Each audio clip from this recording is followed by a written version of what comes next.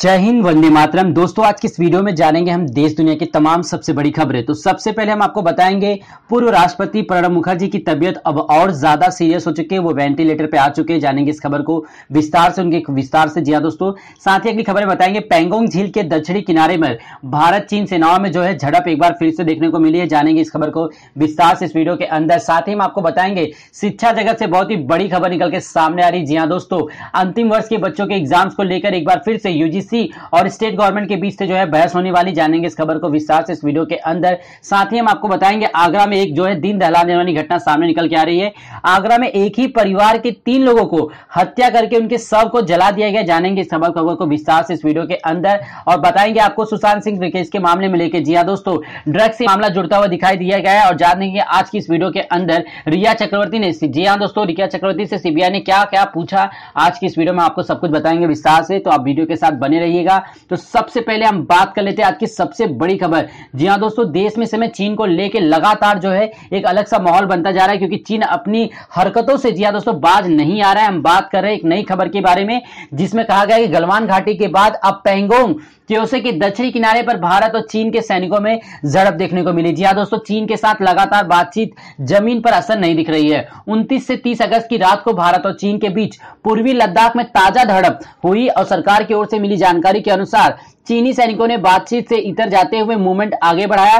पैंगोंग झील के दक्षिणी किनारे पर चीनी सैनिकों की गतिविधियों पर भारतीय सेना ने विरोध किया। प्रेस कॉन्फ्रेंस ब्यूरो की रिलीज़ अनुसार सेना ने चीन को आगे बढ़ने नहीं दिया, भारत ने इस इलाके में और तैनाती बढ़ा दी है। इस झड़प के बावजूद चूसल में ब्रिगेड कमांडर लेवल की फ्लैग मीटिंग चल रही है और 15 जून की रात को गलवान घाटी में हुए हिंसक झड़प के बाद चीन बॉर्डर पर हुई यह दूसरी सबसे बड़ी घटना और अभी तक जवान जो है सुरक्षित बताए जा रहे हैं। लगातार जो है अब अंतर्राष्ट्रीय बॉर्डर्स पे जो है एक बार तनाव देखने को मिल रहा है, लेकिन मोदी सरकार अभी तक इस मामले को पूरी तरह से निपटाने में असफल नज़र आती हुई।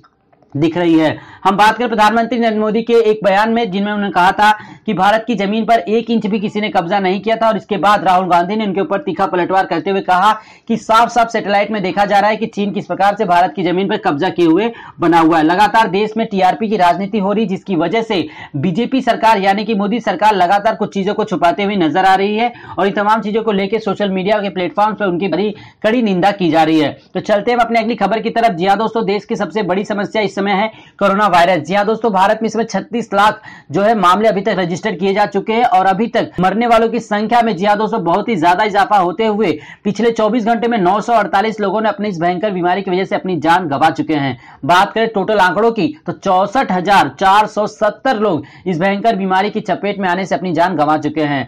बात करें महाराष्ट्र, जहाँ पे केंद्र बिंदु लगातार कोरोना वायरस बना हुआ है, यहाँ पे अकेले सात लाख चौसठ हज़ार मामले रजिस्टर किए जा चुके हैं और यहाँ पे मरने वालों की संख्या चौबीस हज़ार एक सौ तीन के करीब पहुँच चुकी है। तो ये देश में ज़्यादा दोस्तों, बहुत ही बड़ी समस्या लगातार बनी हुई है और मोदी सरकार ने जो भी इंतज़ाम किए थे कोरोना वायरस से निपटने के लिए पूरी तरह से विफल होते नज़र आ रहे हैं। बात करें पूरी दुनिया में तो जहाँ कोरोना वायरस की रफ्तार धीमी हुई, उसके बाद लॉकडाउन को खोला गया तो भारत में जब कोरोना की रफ्तार थी ही नहीं, यानी लगभग 400 से 500 आंकड़े थे तो भारत में सख्ती से लॉकडाउन किया गया, जिसकी वजह से कई लोगों की रोज़गार चली गई, कई लोग पैदल जाने के लिए मजबूर हो गए अपने गाँव, और जिसकी वजह से काफ़ी लोग ऐसे हैं जो अपने इस भयंकर जर्नी यानी इस पैदल जर्नी में जो है अपनी जान गंवा चुके इन तमाम चीज़ों को लेकर सोशल मीडिया पर कई बार मोदी सरकार की जो है कड़ी निंदा की जाती है, क्योंकि गोदी मीडिया इन खबरों को दिखाने से जो है दरकिनार करती है और इन लगातार इन खबरों को छिपाती हुई नज़र आ रही है। बात करें जी हाँ दोस्तों, अगली सबसे बड़ी खबर की तरफ़ तो निकल के आ रही है रिया चक्रवर्ती को लेकर।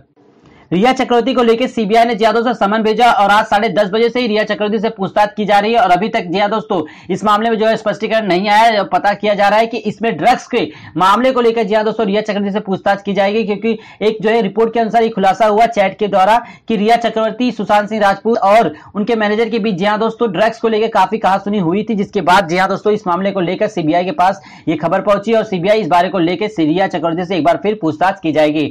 जिया दोस्तों, आपकी जानकारी के लिए बता दूँ कि रिया चक्रवर्ती ने आज तक को दिए एक इंटरव्यू में बताया साफ़ साफ़ कि किस प्रकार से रिया चक्रवर्ती ने कहा कि सुशांत सिंह राजपूत को लेकर उनकी तरफ़ से मनी लॉन्ड्रिंग का कोई भी मामला सामने नहीं आया है। उनसे ईडी ने पूछताछ की सीबीआई ने पूछताछ की, मुंबई पुलिस ने पूछताछ की, लेकिन अभी तक मनी लॉन्ड्रिंग को लेकर कोई भी खुलासा नहीं हुआ है। तो चलते हम अपने अगली खबर की तरफ़। जहाँ दोस्तों, अगली सबसे बड़ी खबर निकल के आ रही है शिक्षा जगत को लेकर जहाँ देश में तमाम राज्यों में जहाँ बाढ़, प्राकृतिक आपदा आई हुई है, जी हाँ दोस्तों, साथ ही कोरोना की महामारी जो पूरी दुनिया में फैली हुई, इन तमाम चीज़ों को देखते हुए में सरकार ने लॉकडाउन किया। लॉकडाउन के बाद ये फैसला लिया गया कि बच्चों के एग्ज़ाम्स को पोस्टपोन कर दिया जाए। उसके बाद भी सरकार ने नीट और जेई के एग्ज़ाम्स को लगातार एक सितंबर से शुरुआत करने की जो है अपनी जीत पर अड़ी हुई है, जिसको लेकर देश भर में जो है आंदोलन चलाए जा रहे हैं, चाहे विपक्षी पार्टी हो, चाहे बच्चे हो, जो इंजीनियर और डॉक्टर्स हैं, जो किस लेवल पे आप वो समझ सकते हैं ये जेई और नीट के एग्ज़ाम्स जिस लेवल पे होते हैं, उस लेवल के बच्चे जब साफ़ साफ़ कह रहे हैं कि हालात इस समय बद से बदतर है, कई राज्यों में बाढ़ आ चुकी है, जिसकी वजह से लोग पढ़ाई नहीं कर पा रहे, लोग अपने घरों में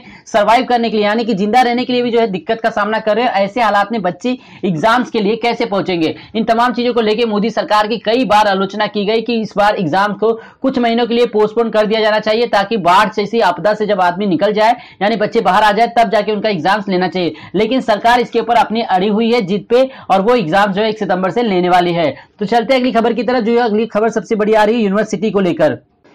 यूजीसी ने जी हाँ दोस्तों गाइडलाइन जारी की जिसमें कहा गया था कि 30 सितंबर तक सभी राज्यों को अपने एग्ज़ाम्स को लेना होगा। जी हाँ दोस्तों बिना एग्ज़ाम्स लिए वो अंतिम वर्ष के बच्चों को पास नहीं कर सकती।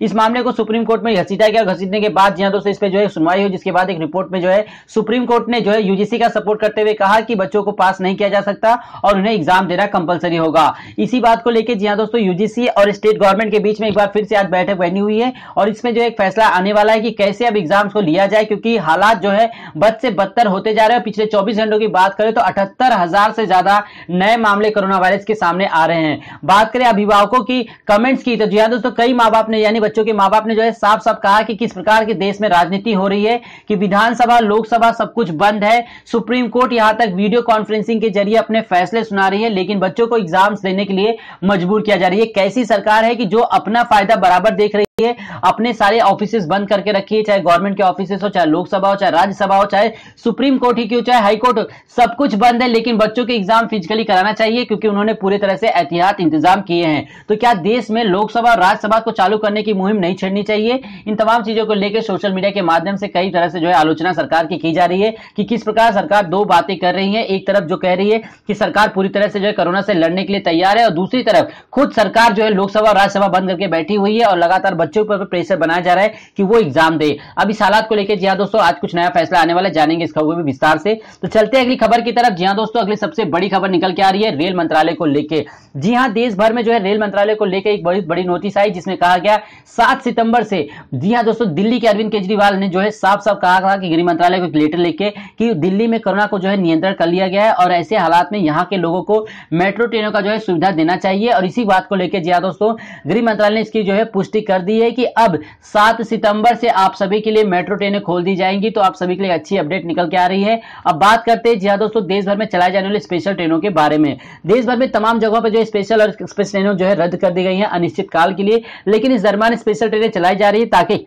ताकि देश में तमाम प्रवासी मजदूर भाई बहन और जो भी यात्री हैं, जिनको भी जो है सफ़र करना, उन्हें कोई दिक्कत ना आए। तो जी हाँ दोस्तों, देश भर में जो है 200 नई स्पेशल ट्रेनें चलाई जा रही है, देश के तमाम हिस्सों में। अब ये कौन कौन से राज्य कौन कौन से शहर में चल रही है, इसके लिए आपको हमें कमेंट करना होगा। जी हाँ दोस्तों, क्योंकि बहुत ही लंबी लिस्ट है, और इसके लिए आपको क्या करना होगा कमेंट बॉक्स में आपको आपके रूट का नाम लिखना होगा। जैसे आप दिल्ली से पंजाब जाना चाहते हैं, पंजाब से अमृतसर जाना चाहते हैं, हरियाणा जाना चाहते हैं, गुजरात में जी हाँ दोस्तों, अहमदाबाद से सूरत जाना चाहते हैं, सूरत से आप मुंबई जाना चाहते जो भी आपका रूट होगा, उस प्रकार आपको जो है कमेंट में लिखना होगा। या आप हमें ट्रेन का नाम भी लिख सकते हैं कि इस रूट पे जो है चलने वाली ट्रेनें कब से चल रही हैं। तो हम तमाम चीज़ों को जी हाँ दोस्तों आपको कमेंट के माध्यम से जो है पूरी जानकारी विस्तार से दे देंगे। तो चलते हैं अगली खबर की तरफ़। जी हाँ दोस्तों, अगली सबसे बड़ी खबर निकल के आ रही है आगरा में। जी हाँ दोस्तों, आगरा में एक ही परिवार के तीन लोगों की हत्या करके शव को जला दिया गया। ये बहुत ही बड़ी घटना निकल के सामने आ रही लगातार जी हाँ दोस्तों, यूपी के आगरा में ट्रिपल मर्डर की जो है सनसनी वारदात सामने आई है। एक ही परिवार के तीन लोगों की हत्या करके उसके शव को जलाने के लिए आग लगा दी। सोमवार की सुबह तीनों के शव जली अवस्था में घर के अंदर मिले। मरने वालों में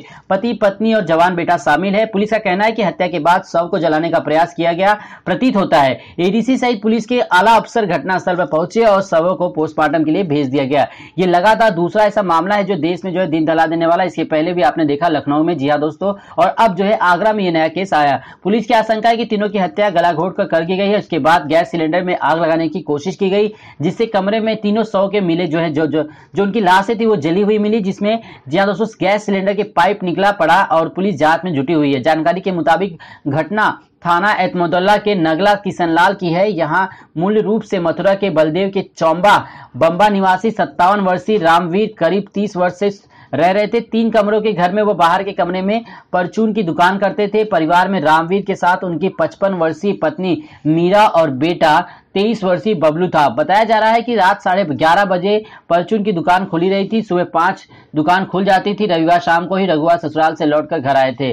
फ़िलहाल जो है, सरकार जो है, पुलिस यानी इसके ऊपर जो है, कार्रवाई कर रही है। बहुत ही जल्द जिसके जो कातिल है, वो सामने आएँगे। तो दोस्तों, उम्मीद करता हूँ कि आज का वीडियो आपको पसंद आया। वीडियो को लाइक और चैनल को सब्सक्राइब करना ना भूले।